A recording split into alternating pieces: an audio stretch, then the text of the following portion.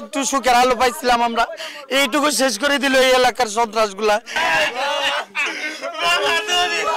অন্যান্য দিনের মতোই বুধবার রাতেও খাওয়া দাওয়ার প্রস্তুতি নিচ্ছিলেন শেরপুরের আবাসন প্রকল্পে বসবাসরত তৃতীয় লিঙ্গের জনগোষ্ঠী। কিছু বুঝে ওঠার আগেই অর্ধ শতাধিক দুর্বৃত্তের হামলায় ছিন্ন বিচ্ছিন্ন হয়ে যায় ঘরবাড়ি। প্রাণ ভয়ে ভুক্তভোগীরা আশ্রয় নেন জেলা প্রশাসক কার্যালয়ের বারান্দায়।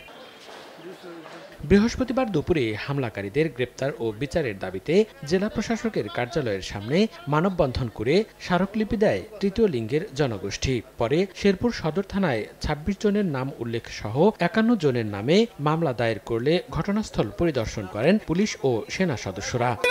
রান্না করছি, যে ভাতটা খাব সেই ভাতটা আমাদেরকে খাইতে দেয় নাই গুরুস্থানে পরে নাইট মারা করতেছে ককে ধরে মারো ওকে ধরে মারো।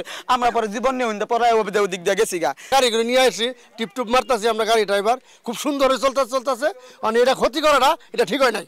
এই হামলার আমরা সুষ্ঠু তদন্ত করে সুষ্ঠু বিচার দাবি করছি তাদের দৃষ্টান্তমূলক শাস্তি দাবি করছি। এদিকে গ্রামটিতে তৃতীয় লিঙ্গের লোকজন বসতি গড়ার পর থেকে মাদক সেবন জুয়াসহ নানা রকম অসামাজিক কার্যকলাপ বেড়ে গেছে এমনটাই দাবি করে তাদের আবাসন অন্যত্র সরিয়ে নেয়ার দাবি স্থানীয়দের।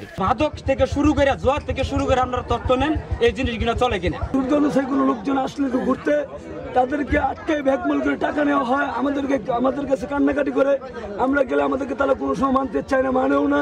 আর ভাঙচুর ও লুটপাটের বিষয়ে যথাযথ আইনি সহযোগিতার আশ্বাস জেলা প্রশাসনের।